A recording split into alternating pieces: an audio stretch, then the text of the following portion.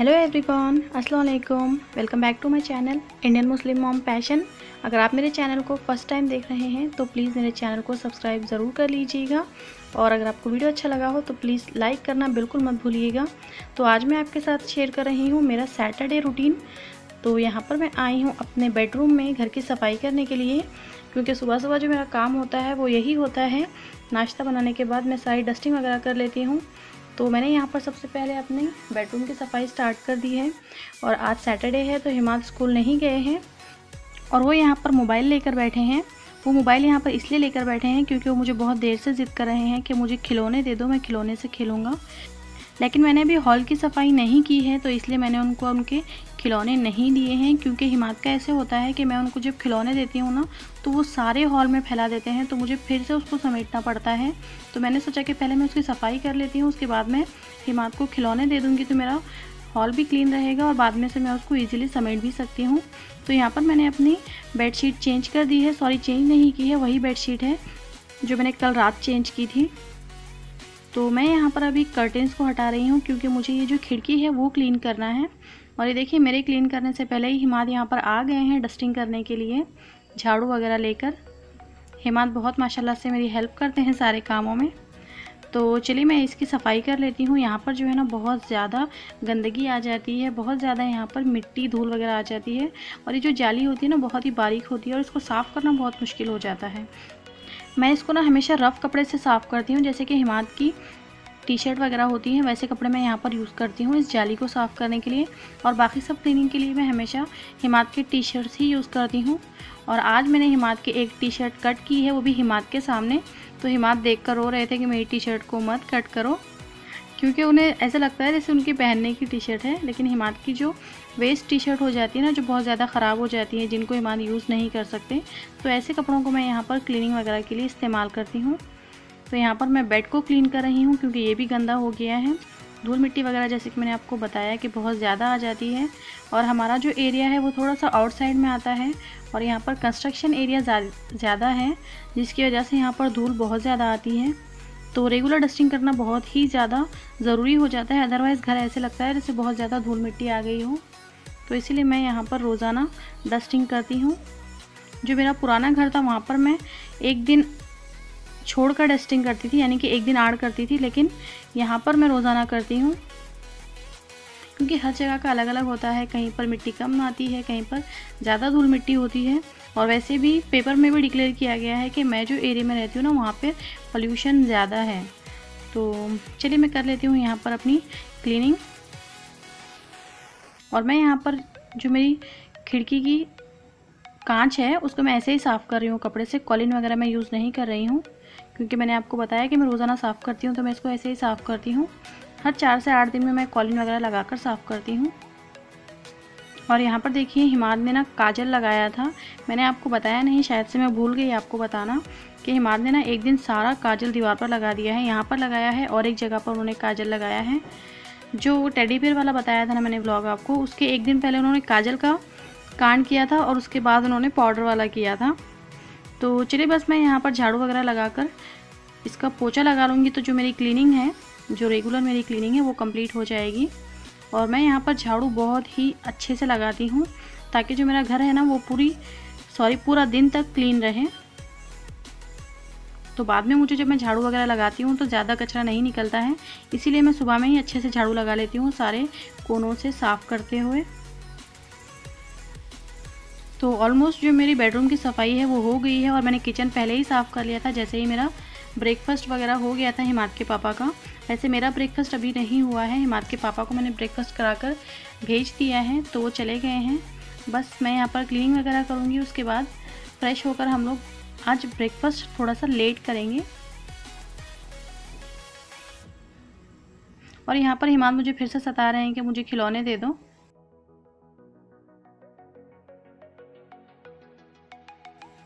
बस कंटिन्यूसली हिमाद का यही चल रहा है।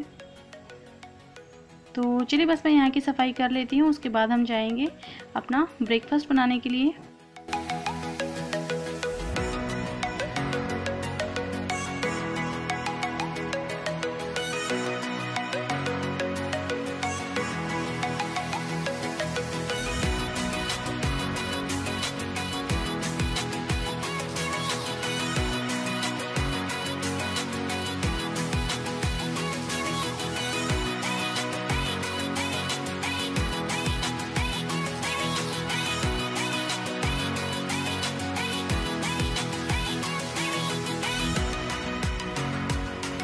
तो डस्टिंग वगैरह मेरी सारी हो गई है। बस मैं यहाँ पर लगा रही हूँ पोचा। और मैं पोचे को भी अच्छे से नीचे से लगा रही हूँ क्योंकि सोफ़े के नीचे जो है ना, हिमाद रोज़ाना कुछ ना कुछ खाकर उसकी पन्नी वगैरह नीचे फेंक देते हैं और बिस्किट वगैरह डाल देते हैं। हिमाद ना नीचे बहुत ज़्यादा गंदा फेंक देते हैं, जिसकी वजह से ना मुझे रेगुलर सोफ़े की डस्टिंग और क्लीनिंग करना होता है। और ये ब्लैक कलर का है तो इस पर ना बहुत ज़्यादा वाइट वाइट धब्बे आ जाते हैं, धूल मिट्टी की वजह से। ऐसे लगता है देखने वालों को कि ब्लैक है तो ज़्यादा गंदा नहीं होगा, लेकिन ब्लैक ही ज़्यादा गंदा होता है, उस पर जो है ना बहुत बहुत जल्दी धूल मिट्टी दिख कर आती है। तो चलिए बस मेरा ऑलमोस्ट काम अभी कंप्लीट हो गया है। जो क्लीनिंग का काम होता है ना, रोज़ाना सुबह का, ये बहुत इंपॉर्टेंट होता है। जब ये काम हो जाता है ना तो ऐसा लगता है कि हमारा सारा काम कंप्लीट हो गया है। चाहे हम नाश्ता करें या नहीं करें, बस क्लीनिंग सब में ज़्यादा इंपॉर्टेंट होती है। जब घर क्लीन होता है ना तो इंसान का दिमाग भी शांत होता है और इंसान का दिमाग भी क्लीन होता है। तो चलिए बस मैं यहाँ पर अभी चटाई इसलिए लगा रही हूँ, क्योंकि हिमात को खेलना है अभी अपने खिलौने जो बहुत ही देर से ज़िद कर रहे हैं।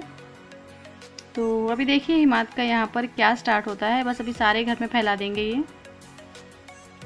इसीलिए मैं इनको दे नहीं रही थी, क्योंकि मुझे पता है, एक बार जब सारे खिलौने निकलते हैं ना तो हिमात के बस यही चलता रहता है। और इसमें ना कोई भी खिलौना पूरा नहीं है, सब टूटे फूटे हैं, क्योंकि हिमात का ऐसे होता है कि एक गाड़ी लेकर आएँगे और लाते लाते रास्ते में ही उसको तोड़ देंगे। मैं आपको नेक्स्ट व्लॉग में बताऊँगी कि हिमात ने क्या किया है अपने खिलौने के साथ में। तो चलिए बस, मिलती हूँ मैं आपसे फ्रेश होने के बाद में। और अभी मुझे हिमात को भी नहलाना है। अस्सलाम वालेकुम। कैसे हो आप सब? तो बहुत देर के बाद मैं आपसे मिल रही हूँ, क्योंकि काम में बिज़ी थी तो मैंने सोचा है कि पहले मैं अपना काम कंप्लीट करती हूँ, उसके बाद मैं आपसे फ्रेश होकर बात करती हूँ। बस अभी मुझे हिमात के लिए नाश्ता देना है, जो कि मैं भी बनाने के लिए जा रही हूँ। और सुबह में मैंने हिमात के पापा को नाश्ता दिया था, वेज रोल, और हिमात को मैं अभी दूँगी एग रोल। वेज रोल और एग रोल।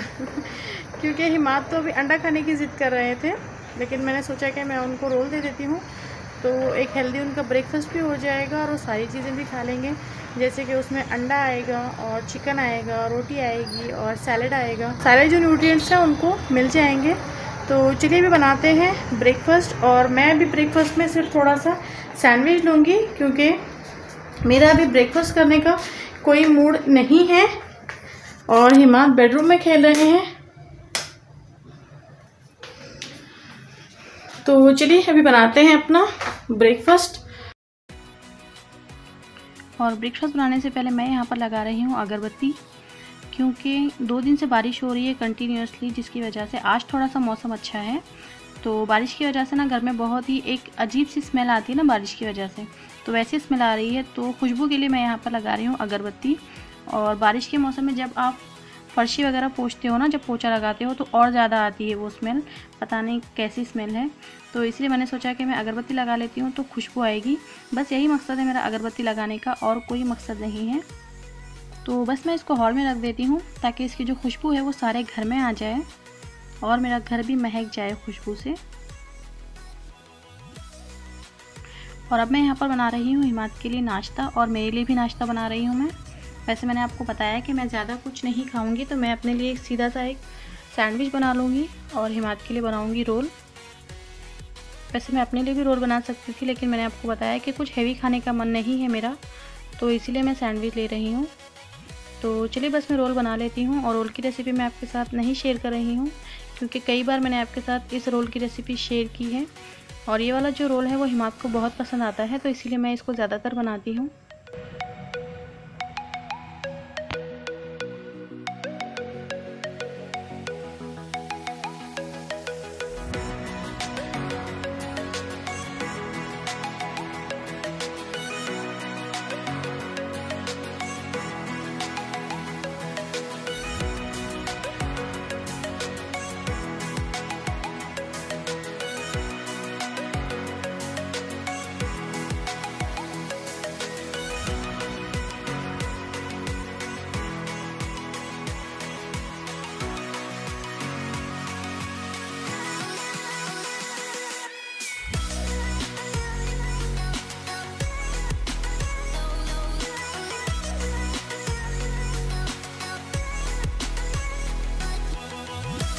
तो चलिए हिमात को हम नाश्ता दे देते हैं। और हिमात माशाल्लाह से खुश हो गए हैं रोल को देखकर। और अभी मैं आपको दिखाती हूँ घर की हालत। ये देखिए। सारा सामान हिमाद ने यहाँ पर ऐसे फैला दिया है। और मैंने सोचा हिमाद को कि सोफ़े पर दे देती हूँ, लेकिन हिमाद यहाँ पर बोल रहे हैं कि मुझे नीचे बैठकर खाना है अपने खिलौनों के साथ में। ये देखिए। घर में सारा सामान इधर उधर बिखरा पड़ा हुआ है। तो चलिए बस मैं यहाँ पर बना रही हूँ अपना ब्रेड सैंडविच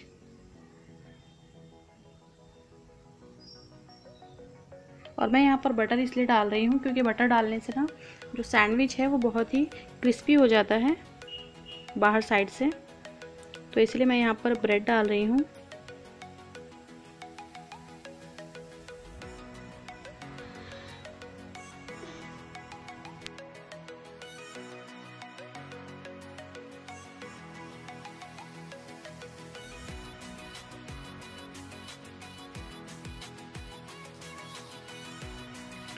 चलिए सैंडविच मेरा बन गया है।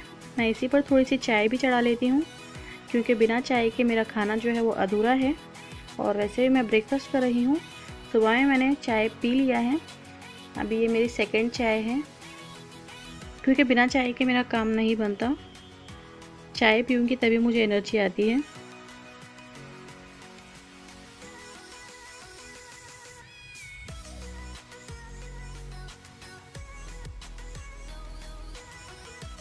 चलिए ब्रेकफास्ट मेरा बन गया है। मैं ब्रेकफास्ट कर लेती हूँ। आप भी आइए ब्रेकफास्ट करने के लिए।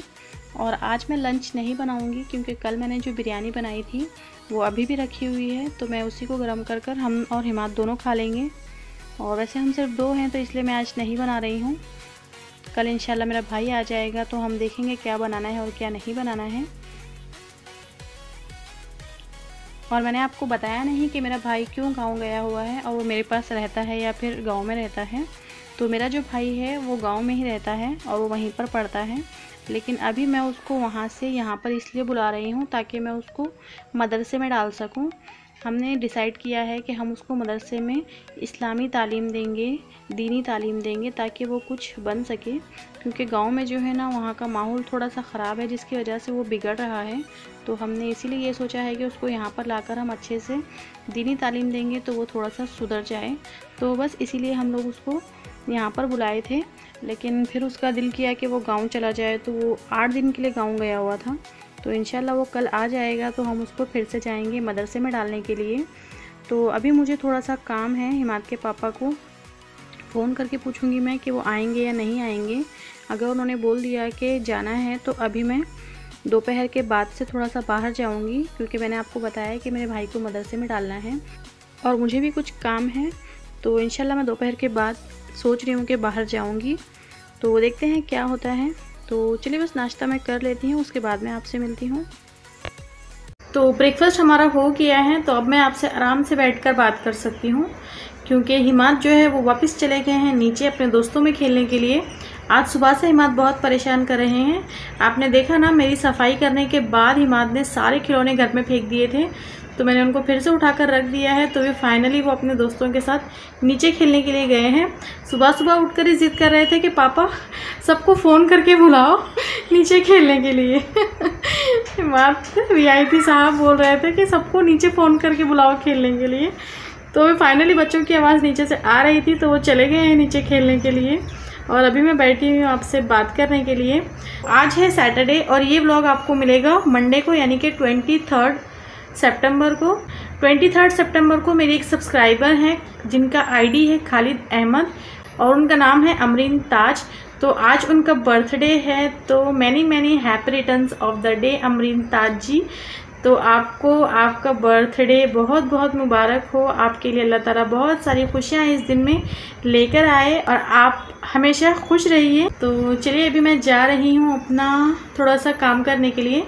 मुझे आपको कुछ दिखाना है। और आज मेरी एक और सब्सक्राइबर हैं, उनके बेटे का बर्थडे है, जिसका नाम है मोहम्मद अबू ज़र। तो मोहम्मद अबू ज़र, आपको आपका पैदाइशी दिन बहुत बहुत मुबारक हो। अल्लाह ताला आपके नसीब बुलंद करे, आपको हमेशा खुश रखें और आप बड़े होकर एक अच्छे इंसान बने, अल्लाह रसूल के चाहने वाले बने और आपको अल्लाह ताला नेक तोफ़ी ख़ता फ़रमाए। अल्लाह ताला आपको तमाम आफ़तों, बलाओं और हादसा से हमेशा महफूज रखें। आमीन सुमामीन तो मैं आपको यहाँ पर दिखा रही हूँ, ये वाली कलियाँ। इसमें ना कीड़ा लगा हुआ है। मैंने यहाँ से एक दो कीड़े निकाले हैं। ये देखिए, सारी कलियों को खा रहे हैं वो। तो अभी मैं बाहर जाऊँगी तो मैं इंशाल्लाह इसके लिए कुछ ना कुछ तो लाऊँगी ताकि जो मेरे पौधे हैं उसमें कीड़ा नहीं लगे। तो चलिए बस मैं अभी हिमात को रेडी करती हूँ। उसके बाद हम लोग जाएँगे बाहर, क्योंकि हिमात के पापा ने बोल दिया है कि वो आ रहे हैं। तो चलिए मिलती हूँ मैं आपसे बाहर।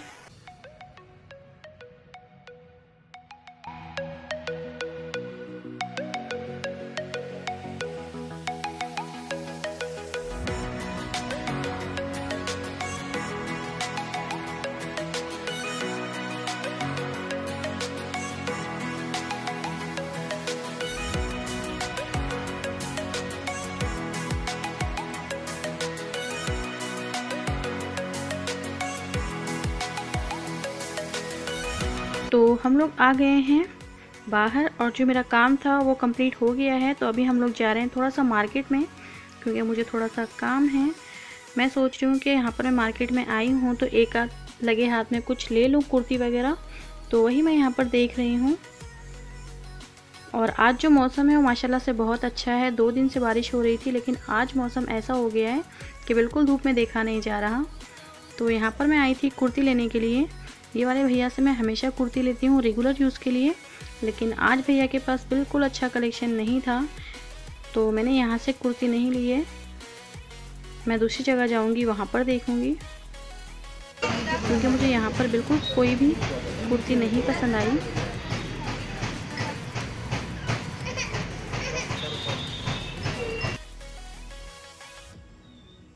तो चलिए भी दूसरे दुकान में देखते हैं। तो मैं ये वाली दुकान में आई थी। यहाँ पर मैं फ़र्स्ट टाइम आई हूँ। बाहर से मैंने देखा अच्छे लग रहे थे कुर्तियाँ तो मैंने सोचा कि देख लेती हूँ यहाँ पर भी।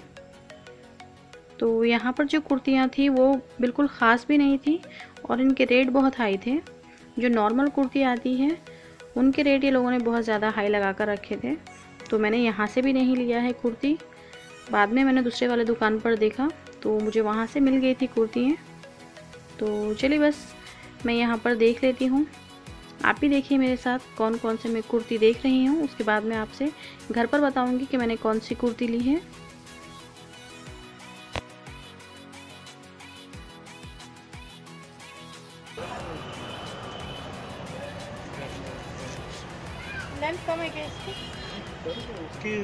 है? तो अभी हम लोग आए हैं घर पर और मैंने यहाँ पर एक सूट लिया है कॉटन का और एक कुर्ती मैंने यहाँ पर लिया है। जो मुझे माशाल्लाह से पसंद आई थी तो मैंने ले लिया है। और आज हिमाद ने ना मुझे ऐसे बोला है कि मैं सोच भी नहीं सकती कि हिमाद मुझे ऐसे बोलेंगे। हम सोचते हैं कि बच्चे मासूम होते हैं बच्चों को कुछ नहीं पता होता है लेकिन बच्चों को ना सब पता होता है। आप सुन लीजिए कि हिमाद ने मुझे क्या बोला है। मैं सोच नहीं सकती थी कि हिमाद मुझे ऐसा बोलेंगे।